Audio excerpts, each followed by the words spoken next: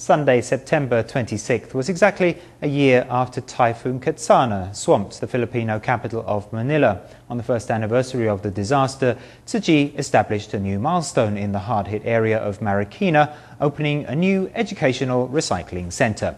As well as a paper and plastic collection point, the facility includes a free medical clinic and a vegetable garden.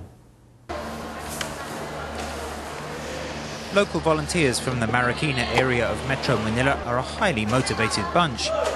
One year after Typhoon Ketsana flooded their city on September 26, 2009, their community is stronger and more united than ever. It's a special day for us, so we've all come here to remember the people who helped us in the past. This is my best birthday present because it's my birthday tomorrow. I'm overjoyed because I feel happy I have a new face. I'm not afraid to meet people. Now everyone has a communal meeting place called Tzu Chi.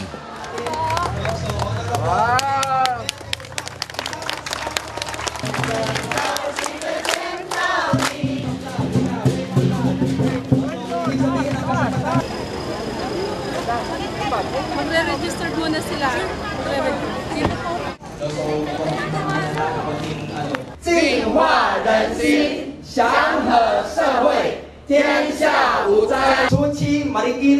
Educational Recycling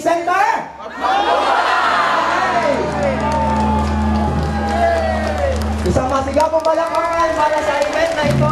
Maraming maraming salamat po. At the official opening ceremony of the Tzu Chi Marikina Educational Recycling Center, local residents are center stage.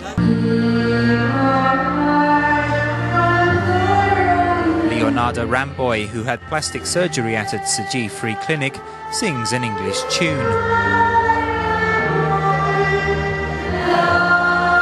And members of the dental assistants training class perform a Chinese sign language song.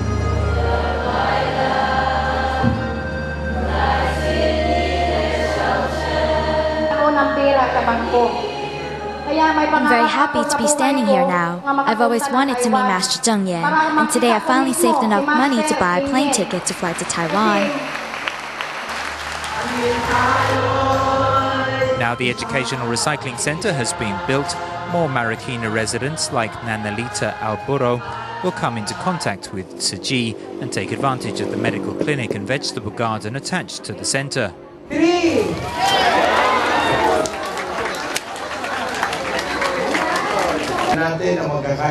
We must stay away from meat. We should eat vegetarian to be fit and healthy. Master Cheng Yen, I would like to thank you for this beautiful Marikina recycling facility that you have put up here in our city of Marikina and for the, all the help that you have done and given to the people of Marikina for the last one year. for our people to realize uh, the importance of life and uh, love and giving, sharing. First time na nagkaroon dito sa This is the first time Marikina has had a recycling center. It represents all the blessings that the Tzu Chi Foundation has given Marikina, so I'm very happy. Everyone has been waiting for this moment. No longer victims of Typhoon Ketsana, Marikina residents are entering into a new chapter of mutual help and support. In our last story, we saw Nanalita Alburo waving her bank book and saying she had last had enough money to buy a plane ticket to come to Taiwan to see Master Cheng Yen. Looking at her now, it's hard to believe the Marikina volunteer used to be passionate about politics. She would harangue anyone with an opposing view, making enemies along the way and straining relations with her family. But after taking Tzu Chi's volunteer training course, Nanalita realized she would have to give up politics and find a new focus for her life, which she did, much to the amazement of her relatives. Mula dumating kami dito, ako nang nilapitan ng mga All of the politicians search me out. They rely on me. On my house to house campaigns, the neighbors listen to me and the candidates win. She is a strong campaigner. This tiny woman named Naririta.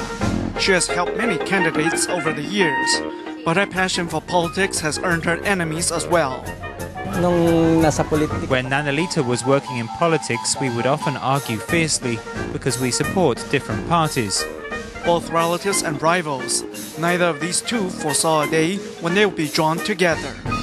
Pero ngayon nang siya'y Now she's not involved in any political activities. She's just a simple neighborhood worker. We get along great now. I loved politics, but after joining Tzu Chi, I have kept from getting involved. This was a spiritual transformation brought on by the floods of last year. Under dreary clouds, Nalilita makes her rounds, going from house to house to collect donations from her 120 Tzu members. Though some cannot even donate 3 US pennies a month, it is the thought that counts.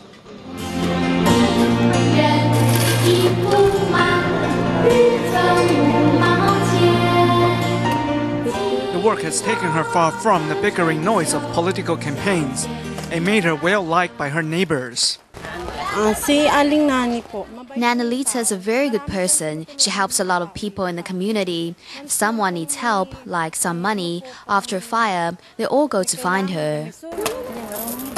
Before, Nanilita's purse carried political flyers. Now it carries money for charity.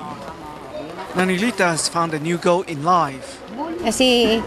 I want to save money so I can go see Master Cheng Yen. She is old and so am I. I want to see her with my own eyes, so I'm saving money and I'm very happy about my start. Nanilita makes a living stripping down electrical wires at Quezon City's Chi recycling station. Though she doesn't make much, she is finding ways to conserve and can save about 16 US dollars a month. As she sees the money accumulate, it's as if the gratitude Nalilita feels within is slowly working its way out for all the world to share.